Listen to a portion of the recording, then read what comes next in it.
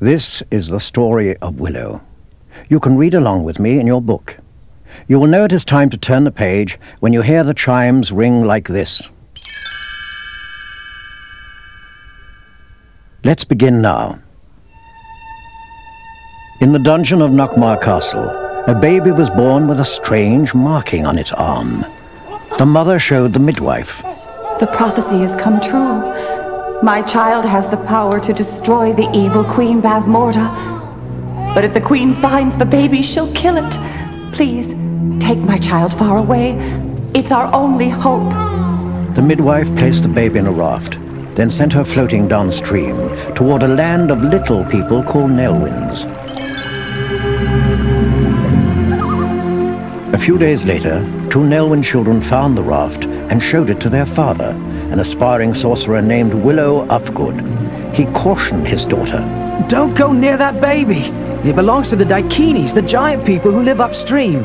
But Dada, she's so cute. Can't we keep her? All right, Mims, but we mustn't tell anyone.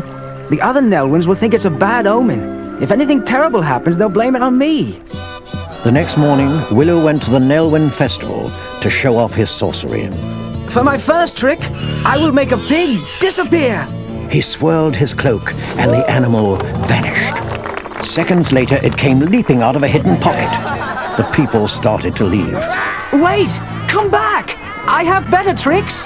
Suddenly, Willow saw a ferocious dog-like creature tear through the crowd. It ran from hut to hut, tossing cradles and cribs aside. A death dog! It's searching for the Daikini baby! Willow raced home and grabbed the child, then rushed to the village sorcerer. High Aldwin. We found this baby in the river. I should have brought her to you sooner. The wise man rattled some magical objects in his hands. The bones have spoken.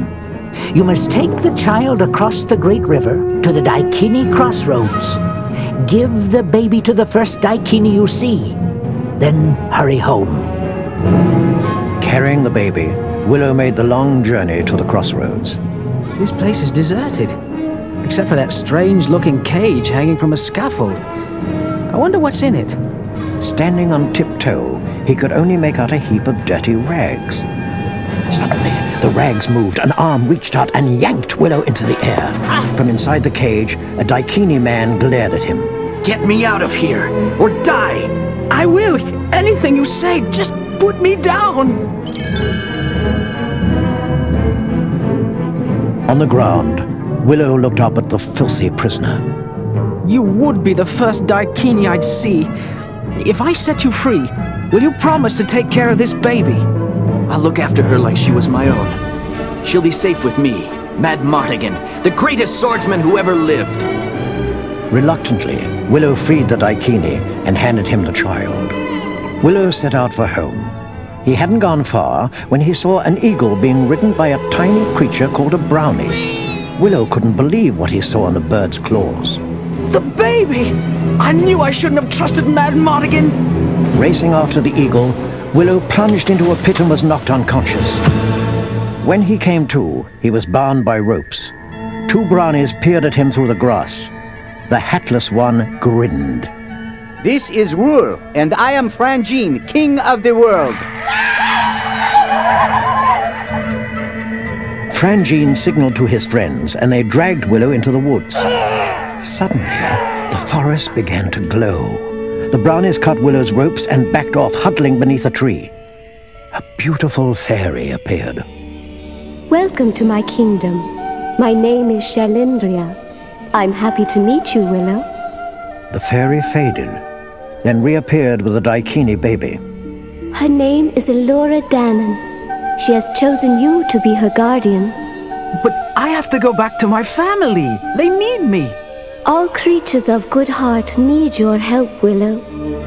Elora Danan must survive. Only she can bring about the downfall of Queen Bavmorda, whose powers are growing like an evil plague.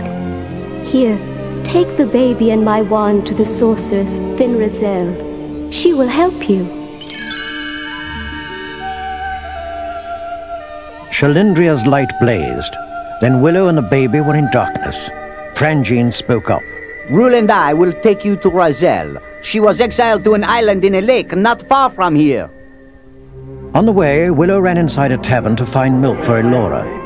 He saw a man disguised in women's clothing.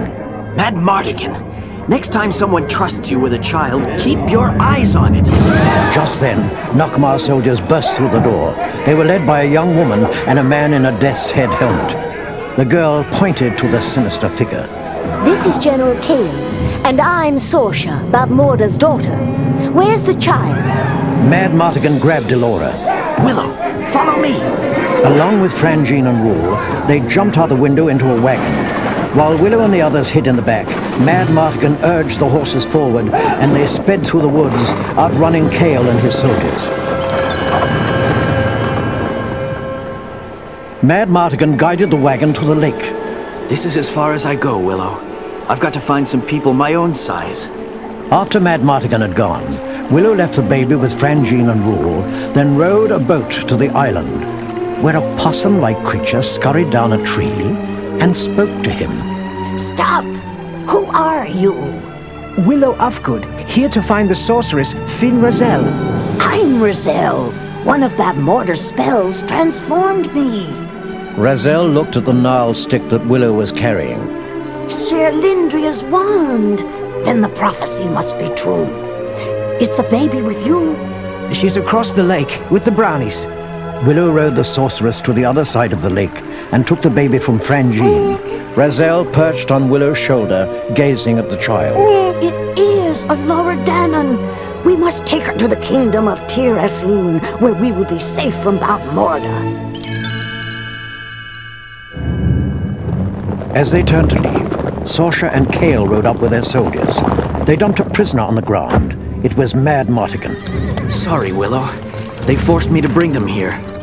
Willow saw Sorsha eyeing the baby. No! You can't have her! The child must be taken to Nockmaar. My mother's waiting. Sorsha's men seized the child, then took Willow and Raziel captive. The brownies hid in the bushes and watched the group take off, with Willow riding on Madmartigan's shoulders. Sorsha led the caravan through the snow-covered mountains toward Nockmaar. That night, she instructed her soldiers to lock up Willow and his friends, then took Elora to her tent. As soon as Sorsha was gone, Raziel turned to Willow. Try to transform me into my human form. Quickly! He pointed the wand at the little possum. Hither Greenen Ban Clydeb Lunanacht. The wand smoked. But Willow blundered. He turned Raziel into a bird. Willow rubbed his aching wrist. I'm sorry, Raziel. I'm not much of a sorcerer, but I can pick a lock. He freed himself and Madmartigan, and the two of them hurried to the tent where Sorsha slept. As Madmartigan tiptoed toward the baby, Willow kept watch at the door. Suddenly he saw Sorsha open her eyes. Madmartigan, look out! As Sorsha lunged, Willow grabbed Elora and dashed outside. A second later, Madmartigan appeared, holding Sorsha hostage. Madmartigan stole two horses, and he and Willow rode through the snow with Sorsha and the baby. Raziel flew ahead of them. Hurry! Kael and his army are coming this way. They fled the icy mountains and entered a valley carpeted with flowers. Willow grinned and pointed. Look! There's the castle of Tir Asleen. As they galloped up the hill and into the castle, Madmartigan's smile faded. All the people are frozen in crystal. They won't be able to help us. Willow wandered over to the largest statue, and Raziel landed on top of it. Sorsha hurried over. It's my father, the king. My mother told me he died years ago. This is her doing. Just then the Nockmaar soldiers stormed the castle. Sorsha turned against them, vowing to defend her father's kingdom. Madmartigan used his sword to fend off a dozen Nockmaar soldiers. Clutching the baby, Willow watched from the drawbridge. Madmartigan, you are a great swordsman! Suddenly the soldiers backed away. Madmartigan turned and saw an enormous monster rising out of the moat, headed for Willow and the baby. He jumped on the monster's back and drove his sword into it. Willow, are you all right? Yes, but Kael took Elora. He's taking her to Bavmorda.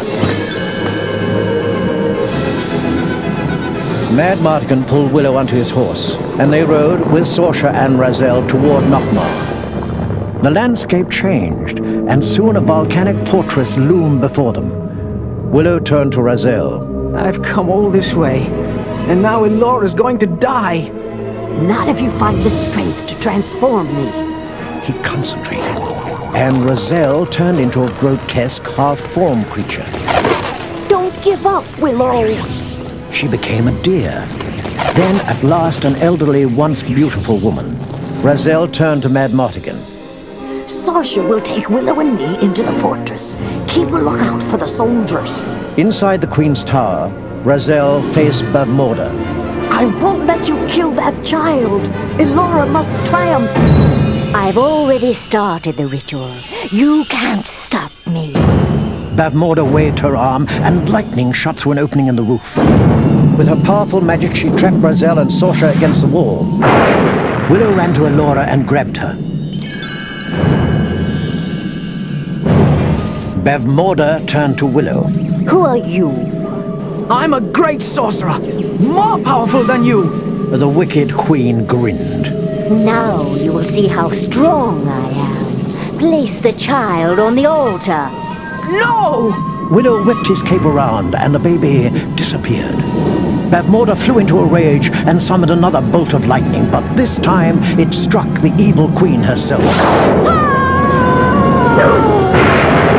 She burst into flame, then shriveled into a pile of ash. Raziel revived. Where is Elora Danan? Willow picked up his cape and pointed to the secret pocket. It was just my old disappearing pig trick. Willow, you did it. You saved the princess. The next day, Raziel presented him with a sacred book of magic and sent him home on a white pony. As Willow rode into the Nelwyn village, the joyous people mobbed their hero. The High Aldwin beamed.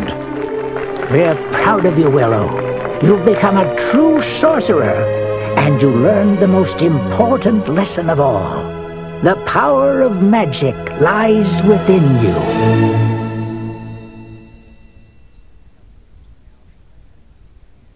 That was the end of the story. If you'd like to hear it again, just turn the tape over.